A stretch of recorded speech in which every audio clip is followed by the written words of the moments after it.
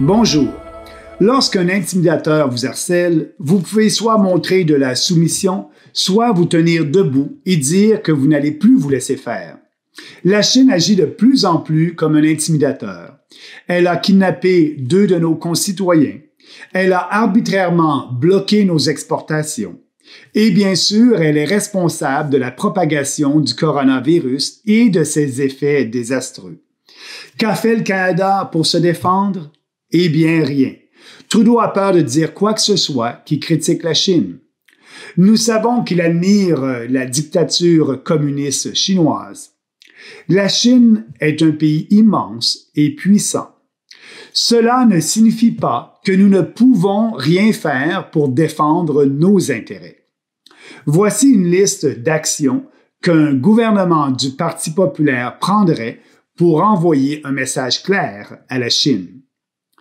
Interdire l'équipement de Huawei dans notre réseau de télécommunications. Interdire la prise de contrôle de nos ressources naturelles et autres actifs stratégiques par des sociétés chinoises.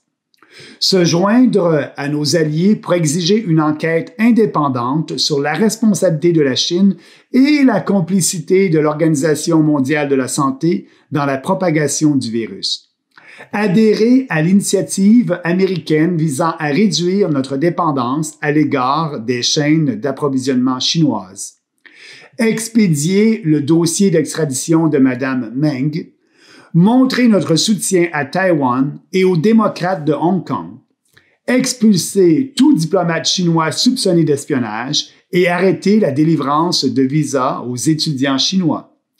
Le régime communiste de Pékin doit comprendre qu'il existe des règles à suivre entre les nations civilisées et qu'il y aura des conséquences s'ils ne les respectent pas.